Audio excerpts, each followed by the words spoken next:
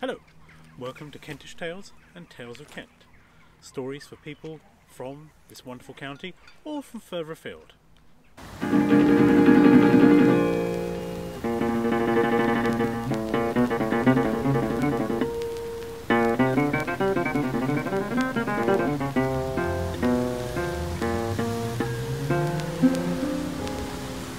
So you know the story of Thomas Becket, uh, the Archbishop who was killed. You were taught this in a history class, and you were listening, and you weren't just coming up with like your ideal formations for Championship manager or picking bogeys and wiping them underneath the table. But just in case you weren't paying attention, here's the story again. Thomas Becket came from a lowly background and rose all the way up to become Lord Chancellor of England under King Henry II. Henry and Thomas Becket became bosom buddies, and so Henry was happy to make Thomas Archbishop of Canterbury. However, at this point, Henry and Thomas ceased to be best friends, as it turned out that Thomas loved the church more than he loved Henry. Thomas was forced to flee the country, but then eventually the two of them kissed and made up and overcame their problems and their differences. Thomas returned to England, but as soon as he got there, he started stirring up trouble again, and it was at this point that Henry said, Who will rid me of this turbulent priest? Apparently. Hearing this, four knights descended on Canterbury Cathedral 800 years ago and murdered Thomas. For this video, we are interested in what Thomas Becket was doing five days before he was murdered. So it was that Thomas Becket found himself in Strood in 1170.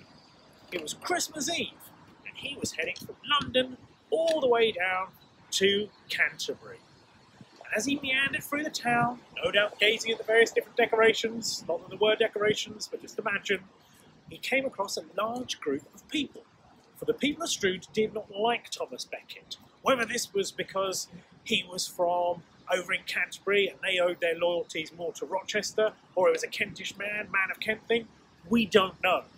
But as the crowd surrounded Thomas, they started shouting at him and having a go at him and accusing him of various different things. And then one man of Strood, or Stroodish man, depending on how you feel about these things, took out a long dagger and cut off the tail of Thomas's horse. Now, obviously, Thomas was a man of God, so you'd expect him to turn the other cheek. But really, Thomas wasn't that kind of man of God. So, he raised himself on his newly tailless horse and said to the people of Strood, I curse thee for evermore that you will all have tails. So if you've ever been to Strood and looked around, that's the reason they all have tails. That story was one of, uh, from one of his biographers, William Fitzstephen. The slightly less gory version was told by Jocelyn, another one of uh, the people who described uh, Thomas's life. And they said, instead of it being that somebody had lopped off the tail of his horse, they said instead the people of Strood, being quite malicious, had tied fish tails to the whole of Thomas's men's horses. Now nobody likes the smell of fish, so that's why the people of Strood have uh, tails. Things, however, took a turn for the weird. It wasn't just the people of Strood that everyone else thought had tails. For 500 years after Thomas Becket's death, Fynes Moryson reported how, on his travels in the Netherlands, whenever somebody from England was not paying a bill, they were referred to as leaving a tail end.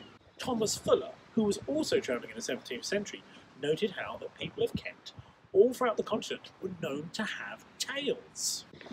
Bishop John Bale reported an even more worrying trend when he said, An Englishman now cannot travel in any other land by way of merchandise or any other honest occupying, but is most contemptuously thrown in his teeth that all Englishmen have tails. In fact, as early as the 1190s, other crusading knights from France and Germany reported how English knights all had tails.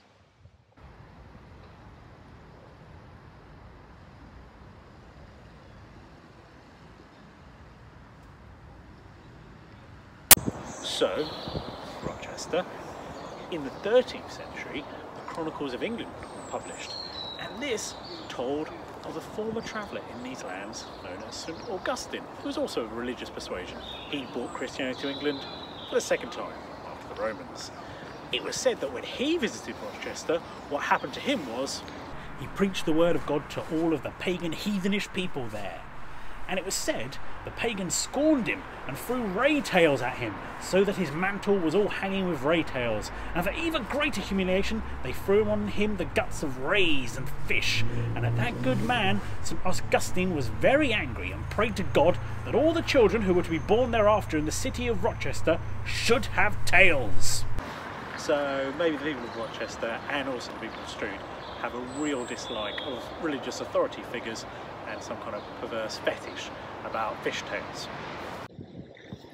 If that's the original story, how did all these things get mixed up together? The tales of Rochester and St Augustine, Strood, Canterbury. Well, what we do know is the Brock family, they owned a lot of land over in Strood. And we also know that the Brock family, they were given lands um, from Thomas when he'd fallen out with Henry II. Now, the problem was, when Thomas returned, having been forgiven by uh, Henry and having made kissed and made up, he came back to England and fell out with the Brocks, saying that they had misused his land and burnt some of his crops. In revenge, the Brocks turned up on that land and stole his hunting dogs and killed his deer. Things escalated when one of the Brocks took Thomas Becket's prize horse and cut off the tail. The horse was brought to Thomas Becket and he couldn't help but understand what the Brocks were trying to tell him. Thomas mentioned the atrocity in his sermon on Christmas Day in Canterbury Cathedral. He also excommunicated Robert and Ranulph de Brock, something he had done previously, and which would be one of the reasons why Henry II would fly into a rage and demand someone do something about the Archbishop. Thomas knew he was on borrowed time, as he stated how one Archbishop of Canterbury had been killed before, and how it was only perhaps a matter of time before another one was. He probably did not realise how quickly he would be proved right. It was only four days later that knights broke into the cathedral and slew him at his very own altar. If you've enjoyed this tale and want to learn more, why not click below and you can find a reading list. Um, or you might want to follow me on Facebook or Twitter, and I would hope that you would like and subscribe as well. Thank you.